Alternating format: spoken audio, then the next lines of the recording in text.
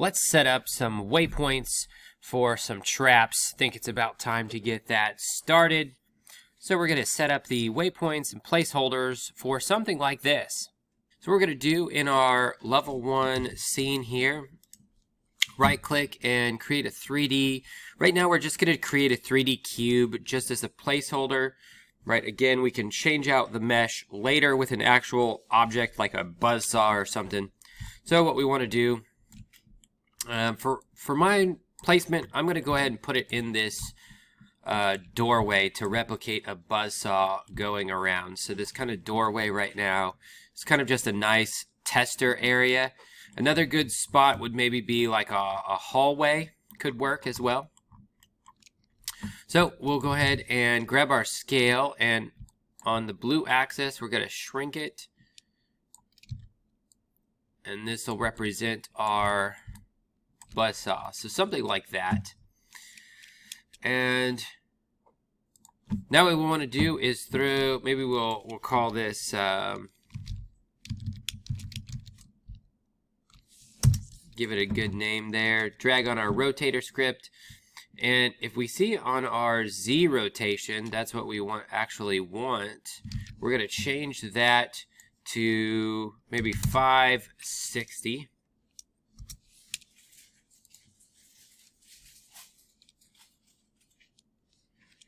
And depending on which direction you want it to spin, we could either do 560 or negative uh, 560, just depends. I think I'm going to try the negative. Alrighty. So we got that. Now what we need is a script for this. So let's go ahead and right click, create a C-sharp script. And we could just call this uh, waypoints.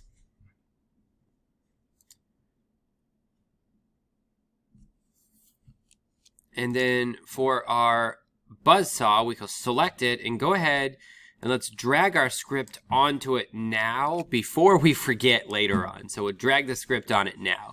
So we have that on there. Then we'll go ahead open up our waypoints script.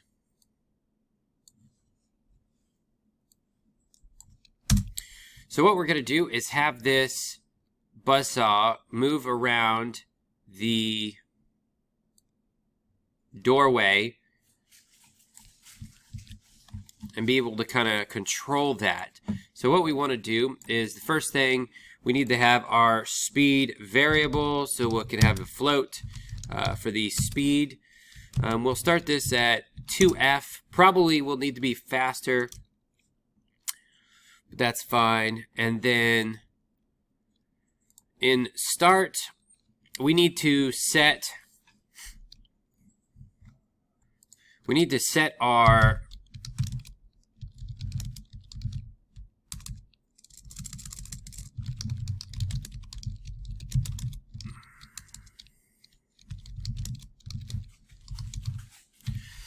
to our first waypoint and we need to actually have some waypoints. So let's go ahead and set up some waypoints first. So we'll save this, come back into Unity. So what we're going to do, let's right click and create an empty. And I've kind of done this previously. Go ahead and delete those. And so we can just call, uh, call it something waypoint 01. And then next to our active checkbox here, we can click this icon and we're going to select um, a, let's do like an orange ruby here. And then if we go into our drop down arrow, remember we can change our size. So like it, just, just about like that. So what we're going to have to do is in our top view actually identify where this waypoint is going to be So maybe this will be our starting point. Waypoint 1. I think that's good. And then we'll duplicate this, Control D. name it 2, and move it up here.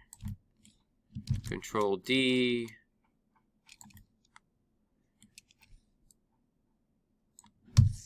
name it, and then, oops, and then Control D, move this one down, name this waypoint 4.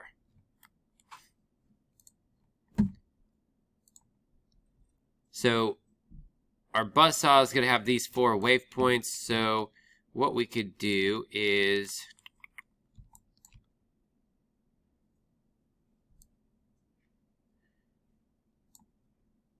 we'll go ahead and parent these four waypoints to the buzzsaw so when we create a prefab they're all together. Okay. Now we have our four waypoints. What does that look like in the script? So first, we these are empty game objects. So we're going to go ahead and do game objects. Oops, get our and we're going to put an array. So it's just not one game object, it's a an array of game objects. And we're just going to call them way points. Now we won't be able to see them until we serialize this information. So we can go ahead and put serialize. Let's put that in for our speed as well. Whoops. And we'll save this. So you can see over in our script, we get a waypoints drop down and we have a size where we could put in how many we want. Now, you might need five waypoints. You might need three. You might need 10. So for right now, we're just going to leave the default zero because we're going to control this with our script, okay? So the next thing that we're going to do is create an index number. Oh, I should show this too. So you see if we have one element, one, uh, one waypoint, you'll notice it says element zero. So an array starts with position zero, right? So this first element is position 0. The second element is position 1. So that's very important uh, for understanding arrays. So the first thing, let's go ahead and we're going to do an integer and waypoint uh, index. So that'll be our index number, right? It starts with 0, so we'll go ahead and assign this uh, 0. Now, for our start of the, when this script runs, we're going to set our transform position. So we're going to assign that to B. We'll say uh, waypoints. So we're getting the array. And then in the array, we specifically want, whoops, we specifically want the element 0 that waypoint. So the first waypoint. And then we have to say we're getting the transform dot position of that waypoint. So we're taking our game object, the buzzsaw, and we're assigning it the waypoint 0 transform dot position. So if we save this, just so you can see what this looks like, we'll go ahead and add a size 1 and we'll drag in waypoint 1 and save everything. And then when we click play, you'll see it's going to snap to that waypoint. And then you can see our next problem, which is why it's always good to play test. So parenting, because our object is rotating, we have the, the buzz saw rotating. So let's unparent these. And this buzzsaw, we'll say buzzsaw object. And then we'll create an empty. And this empty we could call buzzsaw. So we'll put our buzzsaw object and our waypoints in here. So this parent will control, have everything parented, but our buzzsaw will now uh, rotate independently because the waypoints are not parented. So now you can see that our buzzsaw object is rotating, the waypoints are staying where they are.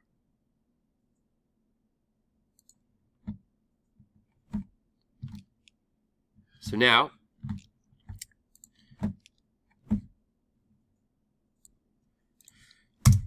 now we can create a method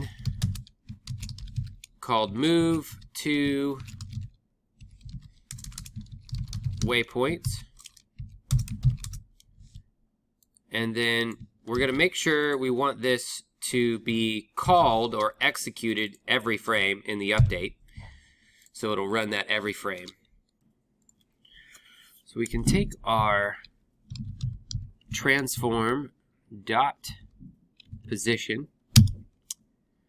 And we're going to assign a new vector 3 and position. And the way we're going to do this we're going to actually use the vector 3 dot move towards right? And this is going to calculate a position between points specified by whatever our current position is to the target position. So we'll use move towards in parentheses. So the first thing we want to put is our current position, which is simply just transform dot position. And then the target position is going to be the waypoints, whoops, waypoints array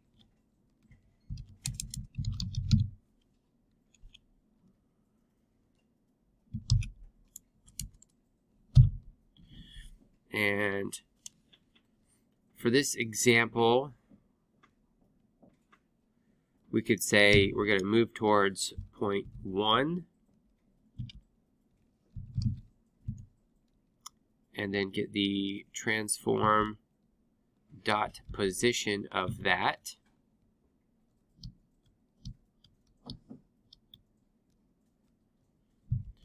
And then we're going to specify the speed and we want that to run per second so we'll do time dot delta time. Now this means if we have element 1 right now we only have element 0 we need to have an element 1 to move towards. So we can save that and we'll add a second waypoint and put in waypoint 2 for element 1. And then we'll go ahead and click play to see our buzzsaw goes to 1 and then goes to 2. Or it goes to position 0 and then position 1. And that's all it's doing at the moment because we're specifically telling it to move towards whatever our current position, which is waypoint 0, and then move towards waypoint 1 at the speed per second. So now what we need is we need to actually change the waypoints so we can have our buzzsaw move from 0 to 1 to 2 to 3 and then wherever else we want it to go. So what we're going to do is before we do our move towards, we want to get the distance and determine if we're really close to a new waypoint, we're going to go ahead and increment the waypoint number to get the next waypoint so that it'll move to the next waypoint.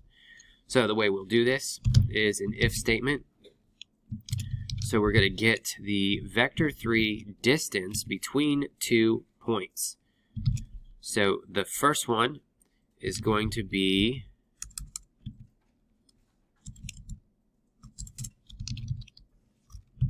waypoints array, whatever the current waypoint index number is, which is 0 right now, but the transform dot position of that.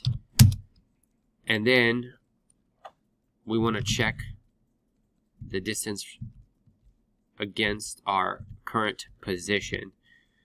And we want to see, is this, say, less than 0.1?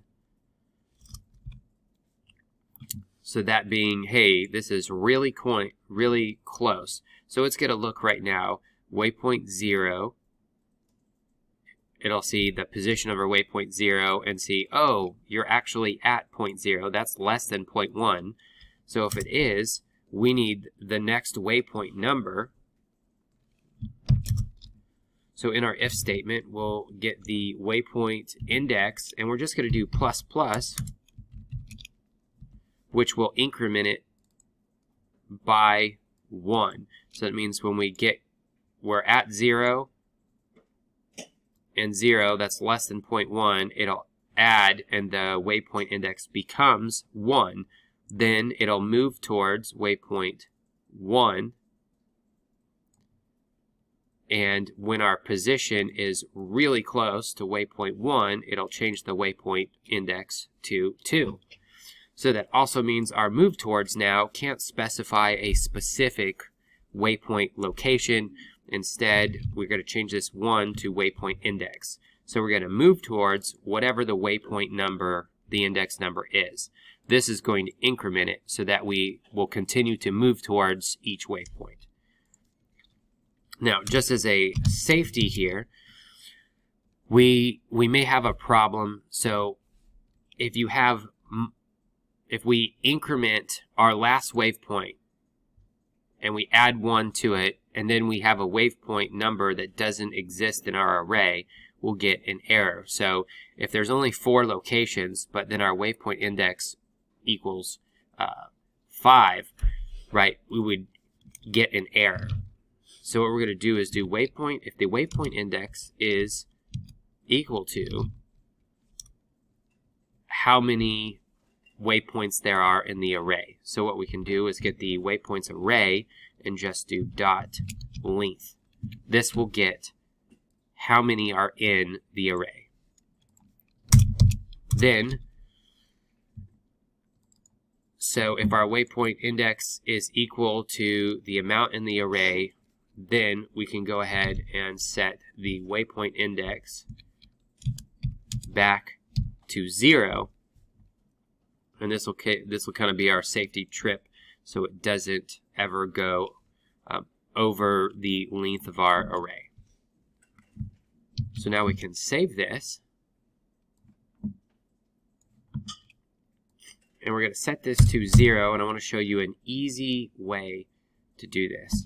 So what we're going to do is select waypoints. Well, first we have to select our buzzsaw object, and I'm going to lock the inspector. Then we're going to click waypoint 1 and shift click waypoint 4. And then I'm going to drag them onto the waypoints array text. So it has to be right here. We drop it on and it assigns them automatically. So now we test that out and you'll see we get waypoint 0, 1, 2, and then 3, and then it goes back to 0. So it's going all the way around.